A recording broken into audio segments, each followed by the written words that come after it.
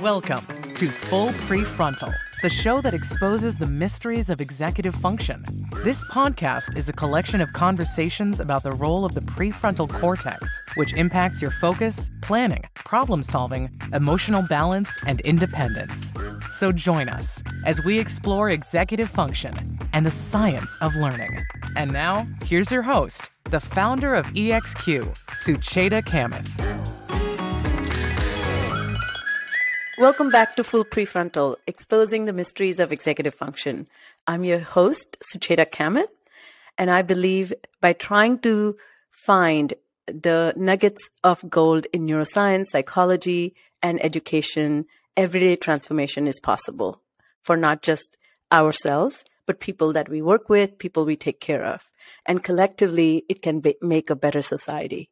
So, as you know, this podcast is fueled with three particular goals we try to make um, a concerted effort to understand executive function, how crucial it is for personal development, self sufficiency, and even moral development. Second, try to find uh, ways to connect the current self with the future self and maybe investigate some blind spots, personal challenges, and maybe societal barriers that some of us have more to uh, battle than others. And lastly, maybe create a personal playbook, playbook so that we can all master our executive function and grow and become the most amazing individuals, or even uh, let our geniuses out. So, one of the things that always has interested me is this idea that when we think about uh, excellence, uh, what comes to mind? You know, Einstein, Leonardo da Vinci, Alfred Hitchcock, Sherlock Holmes. These are some of the iconic names dominating the cultural narrative that men by far supersede women in talent, accomplishment, and genius. The true question is Is genius a skill or a natural gift? And whatever the answer uh, to that is, while the gender ratio in the world is 101.7 men to 100 women, why is the genius exclusively favoring one gender? Have you thought about that? Are all opportunities created equal? And particularly as we think about uh, educating our girls, our as women consider joining the workforce and even uh, as we tell girls that they can do anything and become anybody they wish to, is that really true? And guess what? Our guest today is going to demystify that. Uh, so it's a great pleasure and honor to introduce Janice Kaplan, who's a journalist, TV producer, and author of 15 popular books, including the New York Times bestseller, The Gratitude Diaries, and her newest book, the genius of women. I am, by the way, giving uh, gratitude diaries as my Christmas gift. So if you need some ideas, please consider. and uh, Janice was the editor in chief of Parade magazine and executive producer of more than 30 primetime network television specials. She has appeared frequently on TV shows, including Today and Morning, Good Morning America, and she hosts the daily podcast, The Gratitude Diaries, on iHeartMedia. Welcome, Janice. How are you? I'm great. Thank you so much for having me. What a pleasure to talk to you. Same here. So, before we jump into your topic of expertise, I wanted to ask a little bit about you as a child. You know, it's not an easy um, feat of accomplishment to write 15 books and particularly to hit New York Times bestseller list. So, how were you as a child and what kind of guidance you received? And were there any um, particular ways you looked at the world? Well, I was a very good child, I have to admit, and uh, probably had many of the qualities that you talk about uh, with executive function. When you say 15 books, I guess that doesn't include the one I wrote in fourth grade, uh, which oh, wow. is, remains unpublished. Um, but I was always very determined and um, always knew what I wanted to do, and life seemed pretty easy to me as as a kid. I'm not sure where that came from. I have a very, I'm the youngest of three, and I have a very bright older brother and sister, and uh, very determined parents. Um, but uh, I think some of it, some of it just comes from who you are and and what perhaps it is what your parents consider important. And my parents held education as very important, and I got lots of credit for being smart and being a good reader. So I think that certainly played out very early on in my life, fortunately. Yes, and actually, re- reading several of your books, I, I wouldn't claim I have read all 15 of them, but I think there's a definite uh, playfulness Mm-hmm. And I feel there's a genuine curiosity. I think those two are marks of a great uh, child who looks at the world with great optimism. I can see that. Oh, well, thank you. And I think one of the reasons I became a journalist is because I am curious and I liked to be able to ask questions and explore things and find things out. And I, uh, I, suppose on the negative side, being a journalist means you have a short attention span. You know, you like to be able to jump into something, learn about it, and uh, then step back and move on to the next thing. But it also does require a certain amount of uh, self propulsion, right? You, you do have deadlines yeah. and all of that, but certainly much of what you do is based on what excites you and what interests you and, and what does make you curious. Lovely. So let's talk about this concept of genius. You know, Webster Dictionary uh, describes the word genius as exceptional intellectual or creative power or other natural ability, implying a human quality, not a male one.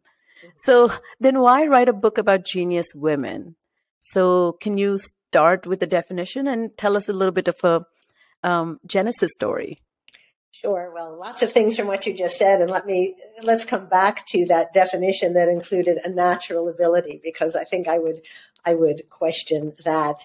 I got interested in this topic after a survey that was actually done by a friend of mine named Mike Berland, who's a very well-known pollster, and the survey found that 90% of Americans say that geniuses tend to be men. And when asked to name a female genius, virtually the only name anybody could come up with was Marie Curie. There were a few Rosalind Franklins thrown in there, but not too many. And Mike came to me with these findings one day. We had lunch together, and he said, What do you think is going on here?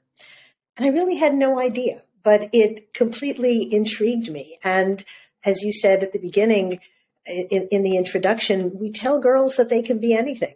But if 90% of Americans say that geniuses tend to be men, does that mean they can be anything except geniuses? And by the way, 90% of Americans don't agree on anything. So this is a pretty extraordinary number.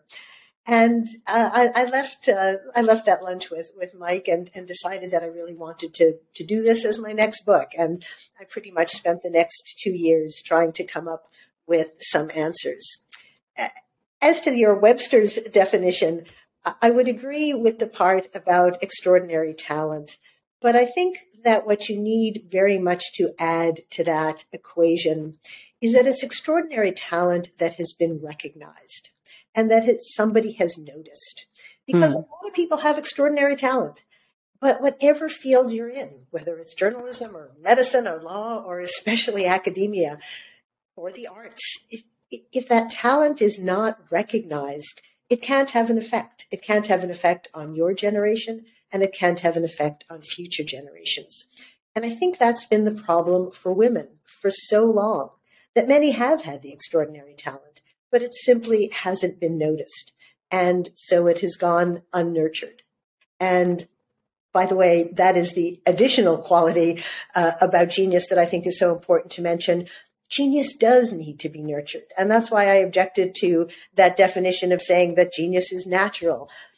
Genius may start as a little kernel, but I think genius needs to be recognized and then genius needs to be nurtured.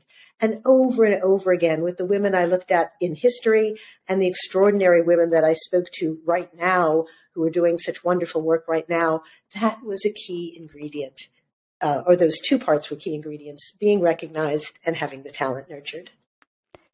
You know, that's such a powerful distinction there because I think uh, genius implies um, effortlessness.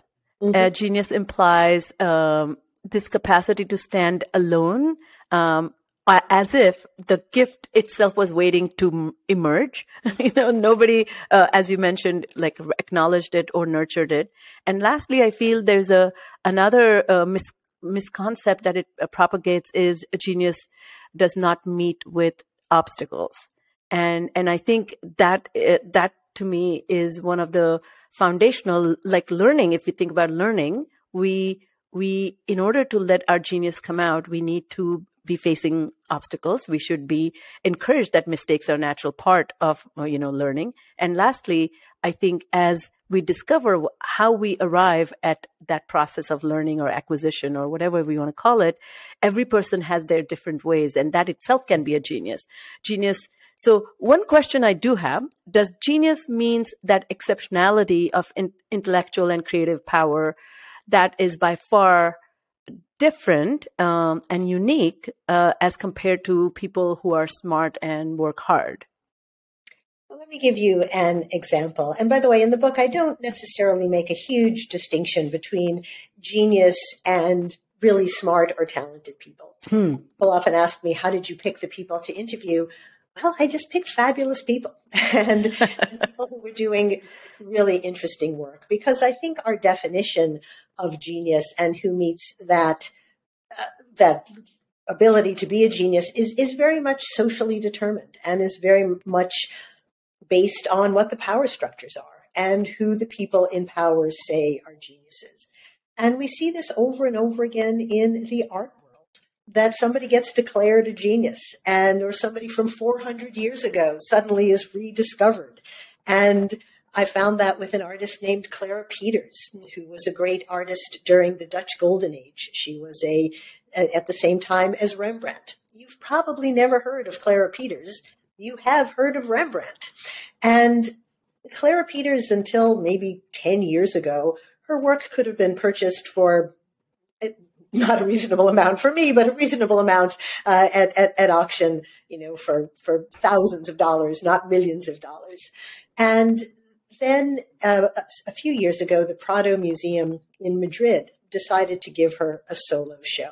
It was the first solo show that the Prado Museum had ever given to a woman. In fact, she's one of the only women ever to be in the Prado Museum in any way. And all of a sudden, the value of Clara Peeters' work soared. She became internationally known. Uh, they had this amazing show of her. And I happened to be in Madrid while I was writing The Genius of Women, and the show was over at that point, but a couple of her pieces were still there. And when I went to look at them, at first I was so excited by the idea that this woman had been rediscovered and what, what, what great joy there is in somebody to be rediscovered. But it also made me sad because I thought, if we see Clara Peeters as great right now, why haven't we seen her as great for the last 400 years? And how many other women artists' work is there in the basement hidden away because nobody has declared them uh, a, a genius? And it's very hard to just look back in history sometimes and pick out the people like Clara Peeters because not all of them had the same advantages as, as men did. If I can give you one other example, Sucheta, while we're, we're on this subject, think about Mozart. I think everybody would agree that Mozart is a genius and has been declared a genius. Well, Mozart had a sister. And when Mozart and his sister were young, his sister was actually considered more talented than he was. She was the, she was the great uh, musician, and they toured together when they were very young.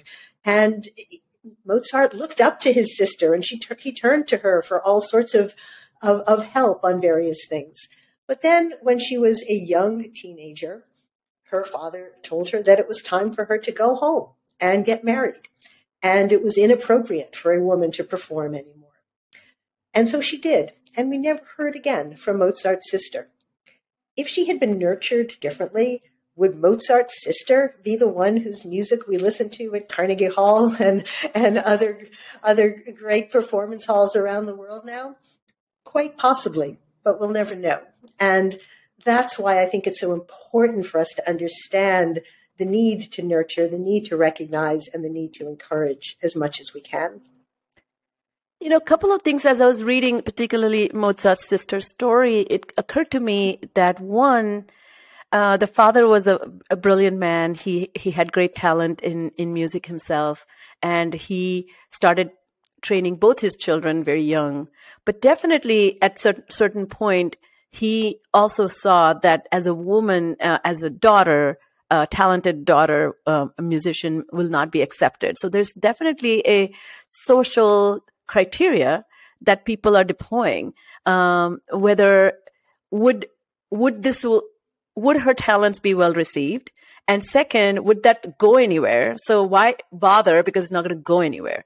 Uh, second thing, I think from your work, uh, what occurred to me that men long, men have long been the arbiters of what counts as great, greatness. Uh, and they are the ones who are then looking at another great artist, another great writer or scientist and saying, is this a threat or is this something going to be well assimilated into the culture that I am, um, you know, I belong to? And I think women as a category is seen, uh, was seen as not either equal or a direct threat. So, uh, do you think the culture is shifting, um, and that's why we have better acceptance, or uh, was culture the one one of the reasons why uh, women genius was not nurtured, acknowledged, and uh, propagated? I think yes to both. I think uh, I think those cultural issues are indeed why women's uh, genius has not been nurtured. And are things changing? I think things change slowly. Uh, certainly, things have changed. Um, probably more slowly than many women working right now would like them to be you, you talked about obstacles and overcoming obstacles. And I think the barriers for women genius are inordinately high.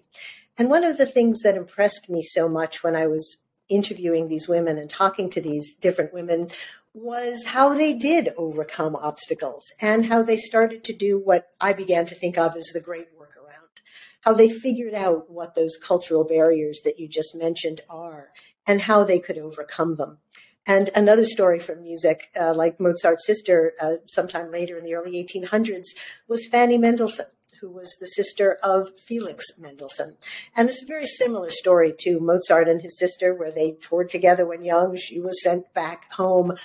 But Fanny Mendelssohn was able to overcome those obstacles in that she kept writing her music and she published it under her brother's name much of the work of Felix Mendelssohn was really written by Fanny Mendelssohn, many of the great songs that he wrote.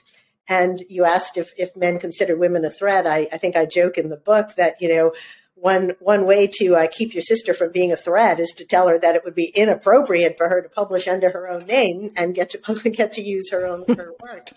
Um, but I admire Fanny Mendelssohn enormously because she was able to do that. And at the very end of her life, which alas was quite, quite short, she did publish some work under her own name. It was a great triumph for her. And then it came to be known that the other songs that had been published were hers. But think about it. She had to not only write great music, not only be a great musician like her brother, not only be a genius in that field, but she had to be willing to overcome all these societal obstacles telling her things that she couldn't do. She had to pretty much stand up to the whole world. We don't ask male geniuses to do that. We ask male geniuses to be great in their field, which is what they should do. And for society, and then society accepts them for that. We ask women geniuses to be great in their field and then to stand up to the whole world and say, it's okay that I'm doing this. Please accept me. And that's a huge obstacle. And I have such enormous admiration for the women who have been able to do it and overcome it. You know, this reminded me of a story when I was growing up in India. Uh, there was a story of Anandibai Joshi. Uh, she was born, I think, in 1865 and uh, she died at age 21 but she was the first indian woman to travel abroad and get her degree in medicine. And uh, and the story uh, i mean i it was part of our educational curriculum but it was never presented as a um, as a genius, which which kind of now I think that it could have been so well presented as her perseverance, her incredible capacity to not, um, you know, I mean, the talent that allowed her to kind of go abroad for to get, uh, you know, Western medicine degree, but but she she it was shown uh, or written how she did not give up her Indianness Mm. So she was in England and she would wear flip flops, uh, which is an Indian footwear, in the cold, bitter cold winter to show how she never gave up her culture. And so she died of pneumonia. And so to me, here's the story. You can, you can frame it a particular way. Uh, uh, but and and it was kind of almost uh, i remember you know you know i grew up in uh, marathi which is my mother tongue my education from k to 12 was in marathi. And that story always said that you never give up your um, cultural roots um, you know but it wasn't never positioned as uh, what a great soul what uh, how how she uh, her basic resilience you know was never positioned as the most inspiring part of her story. Any thoughts come to your mind? Uh, well, you know those those stories are so amazing, uh, and and in, in some ways you can almost understand her holding on to those cultural roots, right? Of, yes, yes. Of needing to maintain some sense of who she was within a world that was probably quite alien to her otherwise, and not accepting to her otherwise. And um, I think it's a wonderful metaphor for what women experience when they are achieving that they often are feeling like they're in a different world that's that's not necessarily accepting of them and that they just have to figure out the the mores and the culture of of where they are and try to fit in there and figure out how much they have to give up of who they are and how much they can just push ahead with being who they are. We certainly all know the stories of women being called aggressive when with men they would just be admired for being powerful and uh, that that happens over and over again. And I and I heard those stories from women often. So yes, that that problem of who am I and how do I hold on to the things that I am and still tell the world, hey, pay attention to me, I think is is a great challenge.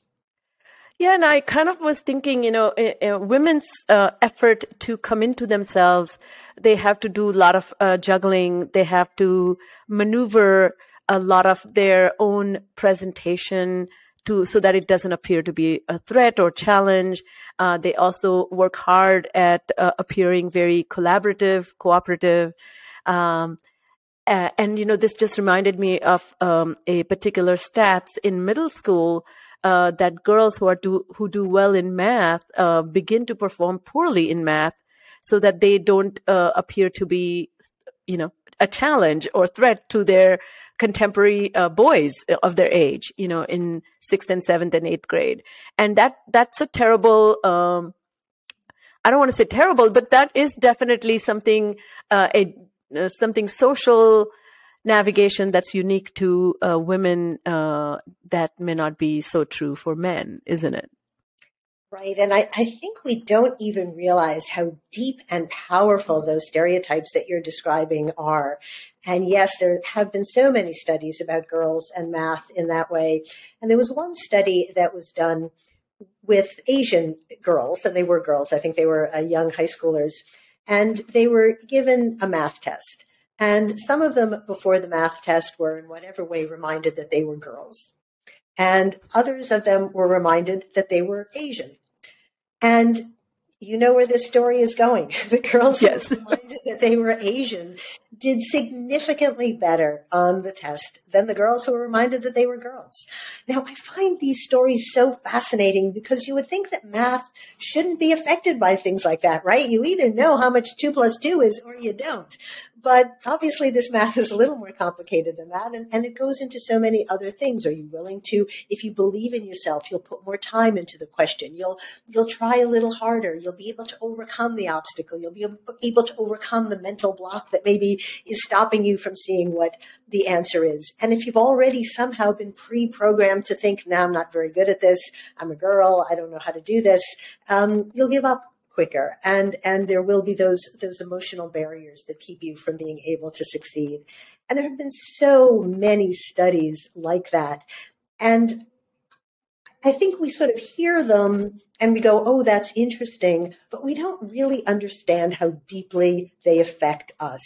And that we all believe that oh we are who we are or you know i'm not good in math because i'm not good in math not because the society tells me not to be and I interviewed one woman while I was doing the book who was from a small town in Italy. And she was actually a professor, excuse me, professor of mathematics in London at the University College London. And she told me that she was from a very small and a provincial town uh, that was quite a patriarchal society. But for whatever reason, in this Mediterranean town, it was just assumed that women were good in math. And so all of the girls were good in math. And she and her sisters all went on to have jobs in math. And she walked me around her floor with, with the other tenured professors were, and she pointed out that all of the women in her department were from Mediterranean countries, where for whatever reason it was expected that women would be okay in math. And I left there just stunned because it would never have occurred to me that where you grow up, whether it's Italy or India or Southern California, is probably going to determine, particularly if you're a woman, how good you are in different subjects. You know, the other story that was also one of my favorites that you talk about is Cynthia Breazeal. And uh, maybe you can share with our listeners uh, that, um, you know, such. Uh, uh when I was reading some of these stories, they, uh, it reminded me they are t- typically polymath. You know, they have so many vivid interests. They have great, uh, a different way of thinking than their male counterparts, and that's what makes that even their ideas a genius because it's not even something. For example, she's she's a, spe- a specialist in robotics and and creating ro- human uh, robot robot interactions and that question as one of the um, in a you know a wonderful story that you write in the book was uh, a man came and was so uh, as in the audience came forward and asked her why why would you even study that? It didn't even interest him because he thought ma- uh, robotics was purely mathematical and it was her who thought that there is a human interaction and companionship and there's so much more to gain. So i think to me that perspective is what you bring when you bring diversity to the table. So women have an incredible gift of bringing a perspective that uh, male-dominated fields or male-dominated perspective will never bring. Can you share that story with us? Well, sure. Cynthia Breazeal is a actually a young woman at the uh, MIT Media Lab, and she actually created, invented, I don't know what the right word is there, the first social robot. And it's actually in the MIT Museum. And it is, as you said, the first robot that actually connected to, to other people and uh, you, can, you can think of it as the precursor to Siri and Hey Google and, uh, and, and Alexa that we that we have now. And in fact, she started a company some years ago with a robot that would do exactly those same kinds of things, and, and the bigger companies did uh, did jump on it at, at that point, and um, uh, she sold out to them. But um, the idea I think that you're suggesting is that she had this social idea because she was a woman. And I want to be a little bit careful about that. I, I think in some ways it is correct, and certainly there are a lot of young women who have who are working in uh, Cynthia Breazeal's lab at MIT because she has shown them that that robots can do really interesting things and can do social good and and and things for society in, in that kind of social way. And by the way, when she first was working on this, robots were only being considered for the menial tasks that they could do. And that was why it was such a breakthrough when she came up with this idea. It doesn't sound so unusual now that we're much more used to it. But at the time, people were thinking of robots only in terms of how can they help out in warehouses and do the things that people don't want to do and reach for things and, and so forth. So her idea to, to abandon that and look for social interactions was quite extraordinary. But why I said that I'd like to be a little bit careful of that is that I don't want to replace the old stereotypes with new stereotypes. Mm. and so I think uh, that we're we know all the stories of of women being harmed because of the idea of the woman behind the man and that that that she couldn't have done that on her own she must just be a, a, the supportive woman and that was the that was the image we had perhaps in the 50s and the 60s and as we have started looking for more diversity as you suggested we've maybe switched that stereotype now. And I heard over and over again from people who were trying to be supportive of what I was doing. And often men would say, yes, you know, we need more women on boards and we need more women in high positions because women are so much more cooperative and collegial than men. Well, are women more cooperative and collegial? Some are, some aren't.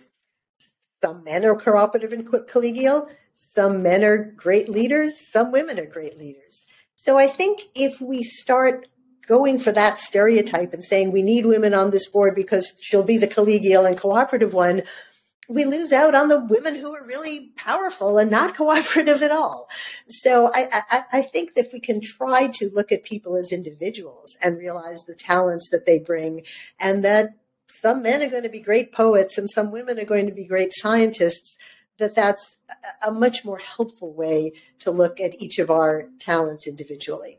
Uh, thanks for that clarification. I think that is a very important distinction that I wasn't really thinking about when I said um, I didn't mean to imply that women bring a softer side of humanity or any such thing. But what I did mean is a perspective that may be coming from a worldview that can be an asset, but that is not uniquely women perspective as such, but any perspective where people have not had a, a seat at the table. Uh, sometimes when we have, uh, you know, uh, I do a lot of work with uh, uh, race and equity. And one of the things that kind of strikes me that homogenous groups arrive to uh, conclusions and decisions much faster, and they tend to have less disagreement. But that's not because they have actually arrived at that homogenous agreement, uh, but they stay away from conflict. So when you have a different perspective at the table, you suddenly have to defend each person has to defend your point of view and that leads to more robust and rich conversations so i feel when women uh, particularly in sciences and math if they were absent a perspective may not ever uh, pose a challenge to a homogenous worldview from a man's point of view is what I was thinking. But but you're right. There's a danger in making it too, you know, overcorrecting to the other side. No, but I think what you just said is absolutely perfect and absolutely perfectly said. Um, I love that idea of of people who haven't had a seat at the table bringing a different view, and that's a really fascinating idea.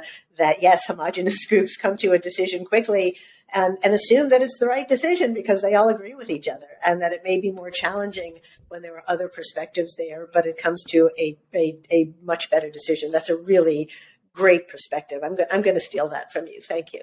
oh, please. Yes. So I do have a question about uh, this idea that um, when we think about uh, genius, oh, so it is definitely an opportunity gap. Uh, once we begin to see more faces that are non-male, non-white, you begin to recognize that uh, this form of unique thinking and incredibly uh, clever and uh, passionate way of living life is not, um, you know, gifted or bestowed upon of just a few people in the community or in the world. Uh, what is the advantage of that diversity, uh, opening the gates to diversity? How does our culture shift? And now that you have a much more aerial perspective on this topic, what what are the benefits you think to the young generation? Well, just think of how much talent has been wasted over the years by people who have not been recognized, by people who have not been nurtured. And just think how tragic it is if we continue to do that and we continue not to recognize and nurture that talent. As a society, we can't afford to do that. We can't afford to lose the talents of great people, of the people who might end up having the solutions for, for world problems. Yes, and and I think one more thing that occurred to me, you know, I have, um, um, you know, when I was growing up, I'm the, I was the only daughter, two uh, brothers, older and younger, and definitely the conversations were about. um, my, particularly, my father would say, "I would make an exception for you." So this is not typical for anybody, this kind of luxury is not afforded to all girls, but I will let you because uh, you are my pampered daughter. And there was a point came when uh, I became a late teenager and early uh, young, you know, young adult. And my uh, my father, I could see him freaking out because he thought he gave me a long leash, and I became a woman with a voice and a woman who had certain opinions, and he got worried that societally it may not be too acceptable. So I do feel that uh, he didn't get the quite the courageous backing of his own male contemporaries to say it's okay to raise a daughter like this. And I feel um, by my generation, you know, even coming to US, I see a change in the way I have raised my children. Um, do you see um, any such distinction between the way uh, you were raised and how you raised your children? Uh, is there a generational shift already palpable to you? Well, first of all, congratulations to your dad for having been able to to do that and to to raise a, a wonderful woman in, in oh, what thank might you. not have been circumstances that weren't necessarily easy to do that. Um, I think certainly we are all trying to raise our children. Uh, I have two sons who are all grown up now, and they're fabulous, if I may say. And uh, but I, I, think I see people raising their children now, and everybody believes that they're giving their children, uh, treating their children equally, that they're treating the boys and girls in their family equally. And when I try to point out to them that they're not, they, they don't necessarily want to hear it. I, I, tell a story in the book about being in an elevator in Manhattan and I was holding a friend's 14 month old baby and um, it was the Upper West Side of Manhattan, a very liberal enclave. And uh, the, the baby was dressed in, uh, I believe he was in blue jeans, but he was holding a pink sippy cup. And uh, I was holding him, and another woman got onto the elevator and she looked and she said, Oh, boy, you're adorable, boy, you're girl. And I was in the middle of writing this book, so I said, baby, 14 months old. And she said, oh, and she had no idea what to say at that point because if it's a 14 month old boy, you say, oh, he's so strong and gorgeous. And if it's a 14 month old girl, you say, look how beautiful she is. And you just naturally talk differently to a baby when you think it's a, a, a, boy or a girl. At 14 months old, there is no difference between them. And so we went through this awkwardness until we got down to the lobby and I then smiled and I told her what I was that, you know, what about this book that I was writing. And, and she just paused and she said, you know, I have four children two girls and two boys, and I'm absolutely convinced that I'm raising them equally. But that was such a lesson. Thank you. and um, so I, I, I think we just need to be really, really aware of how our unconscious responses to our children shape them. Babies take in everything. Kids are really smart. They hear those messages in the air and you can put girls in all the girl power t shirts you want, but they're picking up the messages uh, that we are subliminally sending. So I think the more conversations we have like this, and the more we try to make people aware of the issues, perhaps the more the more advanced we'll be able to become. You know, you kind of touched upon this. Um, is there a special way that women can raise boys that can help them become better appreciators of genius of a woman um, because I feel there's a, a, definitely, you know, I too have two boys and have done, um, I would say, a lot of hard work in coaching them to uh, acknowledge and uh, uh, really not let their gen- gender identity uh, as you know conform it to some some sense of superiority, cultural superiority that uh, is uh, an easy gift. but I wonder if there's a way we can um, uh, you know, teach these skills about how to acknowledge and not immediately perceive that as a threat.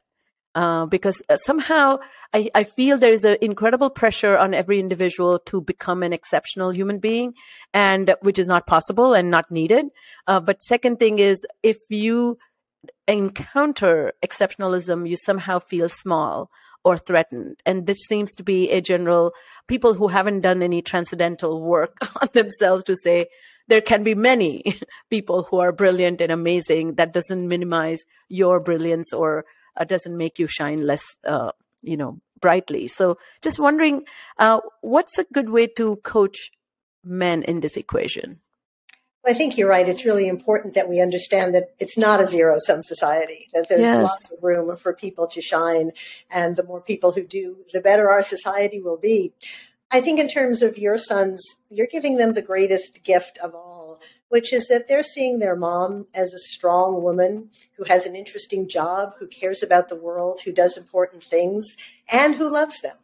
And there's a good chance they're going to grow up and marry women just like that because having a strong woman who does who is who has a, a voice in the world is what they expect a woman to be and uh, and I think that makes starts to make a huge change. And Um, my children are both married, and my children, my sons are both fabulous and smart and talented and in great careers. And they both married women who are smart and talented and in great careers. And I don't take that as Amazing. You know, just because of how they were raised, but but I do think it helps. I do think it was their expectation of what a woman should be, and they knew that a woman who had a career could also love them as their mom did, and uh, so so I think that that's that's really a great gift that you're giving your sons right now for them to be able to see that women have multifaceted lives and that great women have multifaceted lives and that the women who are most interesting do. And hopefully that will be uh, the model that they that they see throughout their lives. You know as i was reading your book um, um, my mom who lives with us um, she has had eighth grade education she's brilliant though and that is mainly because she did not have an opportunity to further her education, not because she was not capable, but I do think she could. She, to me, is a um, an engineer and um, a doctor. I think uh, because she can take apart any electronic, you know, sewing machine, refrigerator, toaster. She can take it apart, put it back together. She can heal. She has home remedies. She is so multifaceted and uh, uh, formally, maybe she doesn't have an education, but I think she, to me, she's an inventor. She can take anything and put it together in a different way. And it took me a long time to recognize that. Uh, I, I, really did not, first of all, see her as a whole person. Uh, I saw her as a annoying mom, and uh, secondly, I never acknowledged to her until much later um, her incredible uh, resilience, her ability to fight any adversity with great calmness and optimism. I've never seen anybody like that. Mm-hmm. So I do feel that maybe there's an opportunity for all of us to pause and just look back at our own mothers in a different way because every strong mother um, has fought a lot and and and I'm not taking anything from fathers so not not to present it that way, but that new newfound admiration to me is really uh, a much more uh, symbolic of maturation on my side, uh, my part, not her suddenly becoming a genius. Well, that's really lovely, and um, I bet your mom is terrific. And there's maybe it would have been maybe there's a certain sadness that she feels that she wasn't able to have more than an eighth grade education and that and that she wasn't able to develop those engineering skills and those those inventive and talents that that she has. And um, she, she passed along great things to you so you will be able to move that that legacy forward. But um, I felt the same way with my mom that she was a really smart woman who never who lived in a, at a time where she thought the right thing to do was to be at home with her kids. And I think she was always a little frustrated by that. And I always felt sort of towards the end of her life that um, that, that was too bad. Uh, so um, great for you to be able to recognize that that your mom has those talents and to make her feel worthwhile and valued and uh, and to be able to show that that even within the circumstances she had, she was able to shine. And that's all we can ever hope for. Well, Janice, as we uh, come to an end, uh, two questions I have. But the first one I have is of all the women that you write about, uh, and thank you, by the way, for touching upon so many walks of life and showing us geniuses. And now I feel so proud that I'll be able to name at least 10 or 15 genius women other than Marie Curie, who literally was, by the way, my name I would have mentioned. But who who um, and this probably is not a fair question, but um, who spoke to you the most? Uh, which woman that you write about uh, felt like a wonderful discovery for you? Hmm. Well, there were, as you said, so many wonderful women, both from history and from right now. One who I was particularly moved by was Dr. Frances Arnold, who yes. won the Nobel Prize in Chemistry in um, a year or two ago. And um, I admired her enormously because she had this wonderful positive attitude. And that was the case with so many of the women who I interviewed, but it really stood out with her. And she'd had many, many obstacles, you can imagine, as you can imagine, both in her professional life and uh, she had some great tragedies in her personal life. But she stayed enormously positive and she just believed in herself and she believed in the work that she was doing. And she said that when she speaks to young women now, one of the key things she says is to try to face the world in a positive and upbeat way, not in a negative and fearful one. And I think that is so important because we do spend a lot of time now talking about all of the problems, all of the obstacles that women face. And I think we also need to focus on the positive and and on the on the potential that we have and when there are obstacles that they can be overcome. And as dr arnold said to me she didn't have any women mentors when she was starting out but you know men are not the enemy. And there were lots of men who wanted a smart woman working in their lab. And so find the good guys and, and let them be your mentors um, which was the, the case at the time. Now perhaps there are more women who you can turn to but I just think that having that positive attitude, that sense of I can do it, that um, not doubting yourself, that believing in yourself is really what is going to make the difference for so many of us. And I felt very inspired by her example because of that. Oh, that's brilliant. Brilliant. Yeah, that that was she was one of my top three. Um, I um, definitely loved uh, Cynthia Breazeal's story as well. Mm-hmm. Um, you know, I was wondering, uh, did you happen to see a 2017 movie, The Wife, uh, with Glenn Close and Jonathan Pryce? Oh, sure, yeah. That was one of my. Uh, as I was reading your book, that uh, that movie came to mind. Uh, it was such a beautifully portrayed story of a truly a woman behind a man who uh, goes on receiving a Nobel uh, Prize for Literature when she's the one who's been editing his work and writing. And uh, uh it's not apparently based on a true story, but kind of captures um, stories of many women.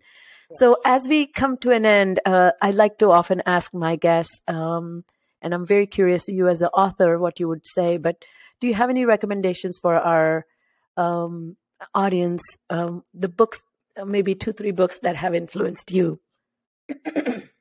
You know, I just reread Daniel Kahneman's Thinking Fast and Thinking Slow, yes. which I read when it first came out.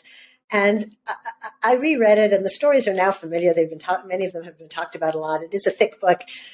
I think it's probably one of the best books on behavioral psychology that ha- I have ever read or that has been written. Yes, it's so so much important breakthrough work. Again, some of it that we're now familiar with, uh, some of it that still is surprising, and his way of explaining how we think about the world, how we perceive things, how we take in the world in a different way than we really believe we do is just so very, very powerful. So I, I, highly recommend that. Daniel Kahneman, Thinking Fast and Thinking Slow. And if you've already read it, read it again. Thank you. Yes, yes, yes, yes.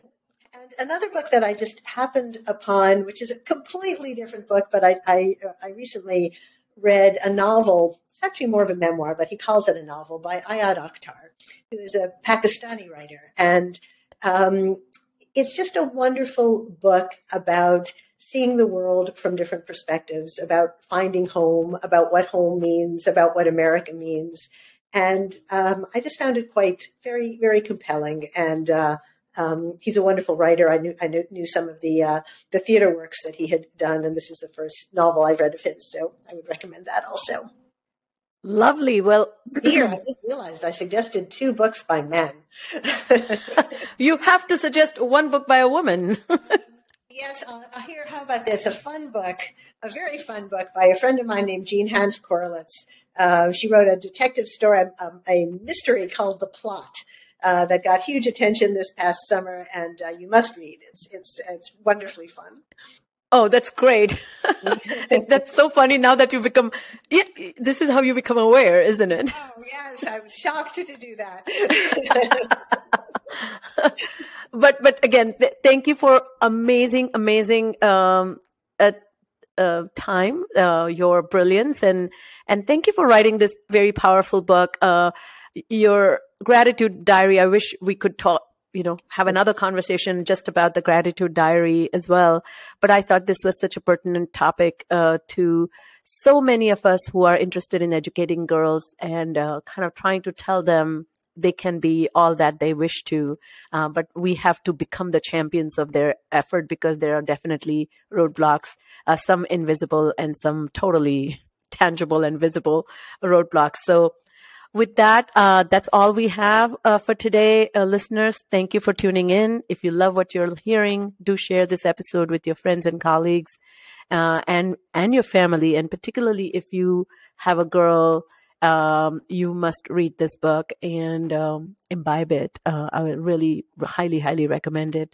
And lastly, take a moment, leave leave us a review, and uh, keep coming back. once again, Janice, thank you for being with us and being an amazing guest on Full Prefrontal. Thank you so much. Thank you for listening to Full Prefrontal, exposing the mysteries of executive function. To contact your host, Sucheta Kamath, and learn more about her work on improving executive function, visit her website at exqinfiniteknowhow.com. That's www.exqinfiniteknowhow.com. Tune in next week for another informative episode of Full Prefrontal, hosted by the founder of EXQ, Sucheta Kamath.